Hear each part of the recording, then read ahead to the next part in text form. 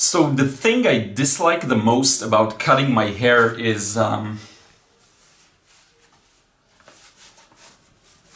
it's too big of a hat.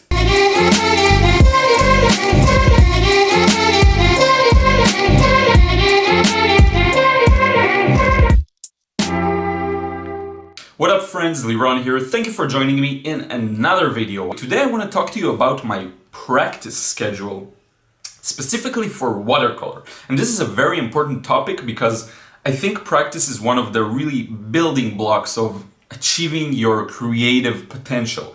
Now, it's such an amazing tool and basically a must. I think that's a must to do in order to be successful.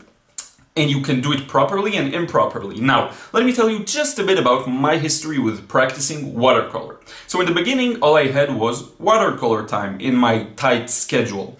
Uh, so I would have an hour a day or two hours a day or four times a week or whatever it was, watercolor time. And I would just take a picture, try to draw it. I was really just finding myself in that world. I didn't know anything. Now, with time, I started to understand that practice and creation need to be separate, separated, uh, just like the video I recorded. And so I started separating the two. I said, okay, this time is specifically designed for practice, and this time is specifically designed for uh, creation. So creation is completely free. I do whatever I want, and practice is really, really like uh, working on the skills, not worrying too much about the result, but still trying to go for something repetitive, things like this. Now, up until recently, I would just uh, start my practice time and I would be like, okay, what practice should I do today? And then I just search for something and do it, which was okay. It, it's, it's an okay thing to do. I would practice um, very well in one specific skill. And when I have creation time, I would just do creation. I'll take a picture, try to paint it, draw it, and do whatever I want with it, being completely free. Now, the problem with this is that it wasn't organized enough for me. And having raised my standards uh, lately and really starting to understand what I want and the level I want to achieve, I understood that you know I'm on such a tight schedule and I have so many things to do so I have to make the maximum out of the practice sessions. I started reading an amazing book, uh, Mastery by Robert Greene, and slowly I started to understand how it all connects together. And what I did was actually create a practice schedule, meaning I actually know what I do every day in advance. And I think the best thing to do would be to actually just read some of it to you. But basically, the way it works is from Sunday to Thursday, I'm doing practice sessions. And on Friday, I have creation time, meaning I can just do whatever I want. And on Saturday, I I'm not obligated to do anything, but if I do feel the urge to paint, I will paint. Um, now, during the week, if I finish my practice session quickly, relatively quickly, let's say an hour or an hour and a half or two hours, I can move on and do uh, a certain period of time for creation as well.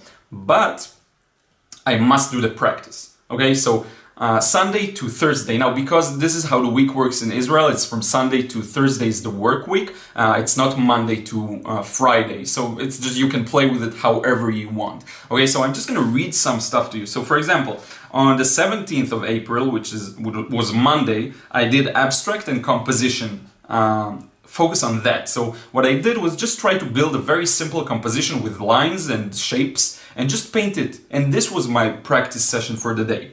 Uh, on the 18th, which was um, Tuesday, the day after, I did blending and colors, which I think I shared on Instagram. It's like the circles. Um, I'll, I'll, put a picture here, here somewhere. I think here. Um, so it, this was that. The day afterwards, I focused, my practice was to create a very accurate sketching as a basis or preparatory sketch for the painting. Okay, so it was this was my practice actually, not even watercolor, it was drawing super accurately. Okay, uh, the day after it was brushstroke techniques. Also share that on my Instagram. And then we we get to Friday. So Friday was pure creation time. Just do whatever I want. On Friday I did the painting with. Uh, I'm gonna show you on my sketchbook. Um, just a very beautiful tree and fields and then a winding road. Um, and then Saturday it's just vacation unless I feel like really the urge to paint. Okay, now vacation is also important because uh, you want to have some time to disconnect, especially if you're uh, practicing a, using a grueling routine. So uh, if you do work really hard, you kind of need to balance it out with a bit of rest, a bit detachment from the medium because uh, you start to to really get a, like a feeling you want to do it again. It just makes you more motivated to start again on the next week. Um, but uh, granted, if I feel really the urge to create, I will. I will probably start just creating and uh, painting. I won't stop myself like by force. But I'm not feeling guilty at all if on Saturdays I don't paint at all. Okay, so uh, this is that, and then I continue on. I have on uh, Sunday uh, wet in wet, uh, Monday blending and uh, monochromatic, like the circles that I did a video on. Um, the, the next day I have shapes, painting shapes, not objects. So the thing is, um, this is my practice schedule. Now let's wrap up this whole video.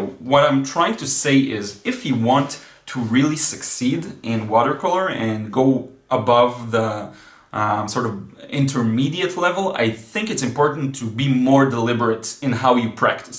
And this is exactly what I'm trying to do with this one, to just be more deliberate about it. Um, so I'm trying to actually plan out a schedule and know exactly what I'm doing every day, and it just makes me just so much better because I wake up, I look at my schedule, and I see, pam, pam, I need to work on the uh, blending uh, blending exercise. I need to work today on wet and I don't need to think. I don't need to waste time. I don't need to waste mental energy. I know exactly what I'm doing. And just like professional athletes, and just like musicians, and just like anyone who wants to play at a pro level, having a good plan can only help. Um, with leaving some room for flexibility, of course. Right?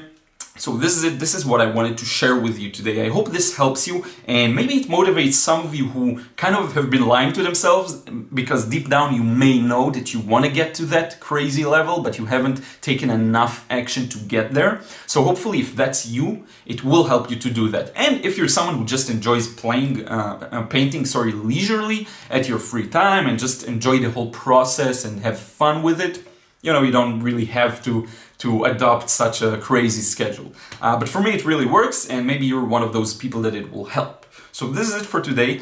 Um, I want to thank you so much for watching. Uh, don't forget to follow me on Snapchat and Instagram and here on YouTube. And I will see you in another video tomorrow.